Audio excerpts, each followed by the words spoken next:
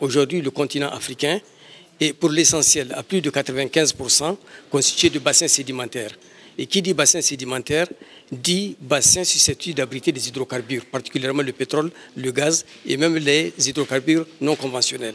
Et aujourd'hui, le continent africain se trouve aussi être un continent sous-exploré, contrairement au continent américain, contrairement au Moyen-Orient. Et les réserves pétrolières en Afrique sont estimées, selon nous, à plus de 13%. Ça, les statistiques d'ailleurs qui sont données par les Occidentaux euh, tendent à sous-estimer le potentiel pétrolier africain. Mais aujourd'hui, avec notre organisation, avec une unité entre les Africains, nous pouvons être en Afrique le premier, voire le deuxième producteur mondial de pétrole. Et ça, ça veut dire beaucoup de choses. Ça veut dire que l'Afrique peut marquer de son empreinte sur la géopolitique pétrolière internationale.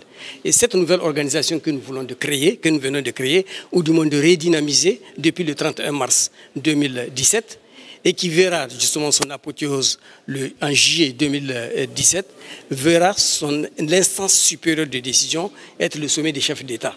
Et aujourd'hui, cette organisation a 18 pays membres. En Afrique, nous avons 54 pays. Et de ces 54 pays, aujourd'hui, 52 sont dans la phase de recherche et d'exploitation de pétrole. Il y a 18 pays membres de notre organisation, plus euh, le Soudan du Sud et la Tunisie, et 32 autres pays qui font des recherches pétrolières, avec un potentiel inestimable. Ça veut dire que l'Afrique, dans les années à venir, aura son mot à dire sur l'échiquier pétrolier mondial.